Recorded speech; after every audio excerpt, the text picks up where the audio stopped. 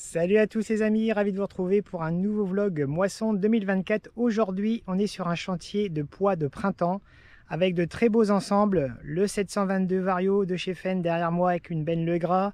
Il y a une belle Lexion 540 et un autre ensemble, un Fendt avec une belle Mopu. Euh, on se retrouve juste après donc les plans euh, que je vais vous faire au sol et au drone. Je vous souhaite un bon visionnage de la vidéo. On n'oublie pas le petit like, voilà, super important. Allez, bon visionnage à vous tous